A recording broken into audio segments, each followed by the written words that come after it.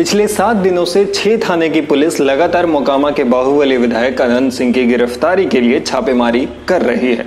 लेकिन अब तक वो किसी के हाथ नहीं लगे हैं। ऐसे में उनके गायब होने के बावजूद उनका खौफ अभी भी बरकरार है। बिहार के पूर्व आईपीएस अधिकारी अमिताभ दास ने अनंत सिंह से खुद की जान को खतरा बताया है।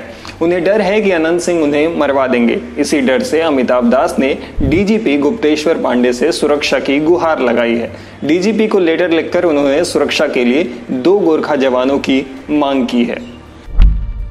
अमिताभ दास ने डीजीपी गुप्तेश्वर पांडे को भेजे गए लेटर में लिखा है कि विधायक अनंत सिंह सुपारी देकर उनकी हत्या करवा सकते हैं। इसके पीछे उन्होंने एक सीक्रेट लेटर को कारण बताया है। दरअसल अमिताभ दास ने साल 2009 में बिहार के निर्वाचन पदाधिकारी सुधीर कुमार राकेश को एक लेटर लिखा था।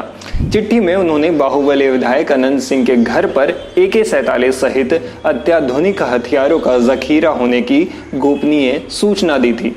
इस लेटर में उन्होंने लिखा कि 5 मार्च 2009 को उन्होंने मोकामा विधायक अनंत सिंह के बारे में सूचना दी थी कि बाढ़ के लदमा में उनके आवास में ए के सैतालीस ए के छप्पन और लाइट मशीन गन सहित कई अवैध हथियारों का जखीरा है। इस सूचना के बाद 16 अगस्त 2019 को पूरे 10 साल बाद विधायक के आवास पर पुलिस ने छापेमारी कर ए के सैतालीस बरामद कर लिया। सूचना सही साबित हुई। सत्यमीव जयते। उन्होंने लेटर में आगे लिखा कि अब विधायक अनंत सिंह उनकी हत्या कराने का षड्यंत्र रच रहे हैं। उनके गुर्गो को सुपारी दी जा चुकी है, इसलिए तत्काल बीएमपी से दो गोरखा जवान उपलब्ध कराए जाए। अमिताभ दास ने दावा किया कि अनंत सिंह उन्हें अपनी हालिया समस्याओं के लिए जिम्मेदार मानते हैं और इसलिए उन्हें मारने के लिए हथियारों को सुपारी दी है। दास ने मीडिया से बातचीत के दौरान कहा कि मैंने 24 साल तक आईपीएस अधिकारी के रूप में काम किया है। मेरे पास अभी भी पूरे राज्य में खबरियों का नेटवर्क है और उन्होंने मुझे इस बात की चेतावनी दी है। अनंत सिंह संभवतः मानते हैं कि मेरी वजह से पुलिस उनके पीछे पड़ गई है। दास ने कहा कि अगर पुलिस मुख्यालय से सुरक्षा नहीं मिली तो मैं हाईकोर्ट के शरण में जाऊँगा।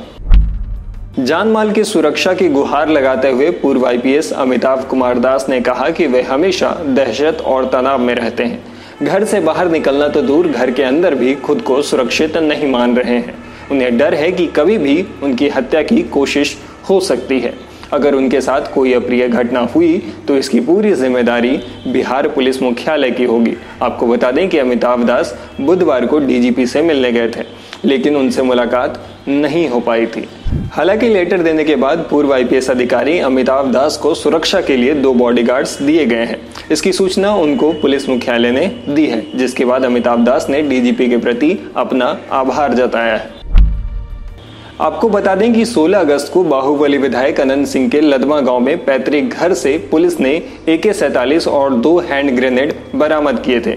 बरामदगी के बाद से अनंत सिंह फरार चल रहे हैं। विधायक अनंत सिंह के खिलाफ आर्म्स एक्ट गैर कानूनी गतिविधि कानून और विस्फोटक एक्ट के तहत मामला दर्ज किया गया है। फरार होने के बाद अनंत सिंह ने दो वीडियो भी जारी किया, जिसमें उन्होंने तीन से चार दिन के अंदर सरेंडर करने की बात की थी।